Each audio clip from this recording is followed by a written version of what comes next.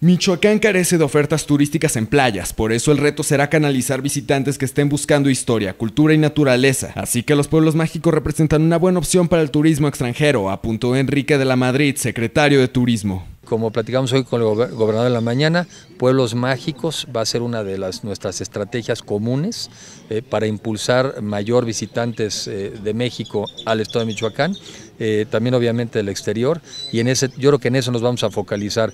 seguridad, pueblos mágicos y promoción, yo creo que nos debe dar muy buenos resultados. El funcionario federal en su primer visita al estado recorrió los pueblos de Santa Clara, la isla de Janitzio en Pátzcuaro y Tzintzunzan para supervisar las obras realizadas y seguir haciendo proyectos para que el turismo sea sustentable a los michoacanos. Ahorita que estuvimos ahí en Janitzio, se mejoró el muelle, pero también hay un proyecto de pintar toda la isla de blanco.